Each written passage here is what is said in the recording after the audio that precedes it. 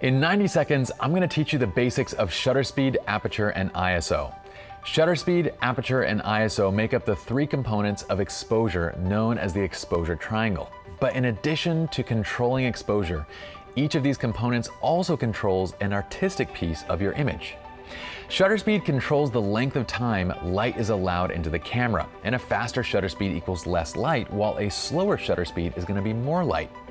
But artistically, fast shutter speeds will also freeze motion, where a slower shutter speed is going to reveal motion. The aperture is essentially the pupil of the lens. Now, wide open apertures, say at f1.4 to f2.8, they're gonna allow in more light, while smaller apertures, say from f7 to f11, allow in less light.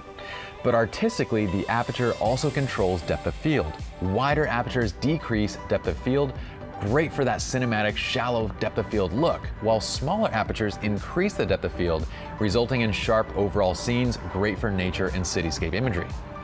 Lastly, ISO is your way of digitally boosting light. So basically, if you lack light, you can increase the ISO to basically boost the signal arriving at a proper exposure.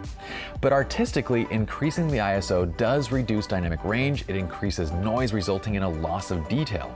This might be desired if you're attempting to create a filmic look to your images, but otherwise, shooting at the lowest native ISO is important to maximize color, dynamic range, and detail.